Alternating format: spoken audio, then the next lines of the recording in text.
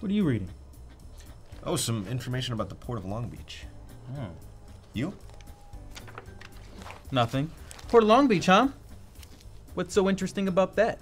A lot, actually. Did you know that the port brings in more than $150 billion worth of cargo into this country every year? It's everything from like manufacturing to electronics to food and petroleum.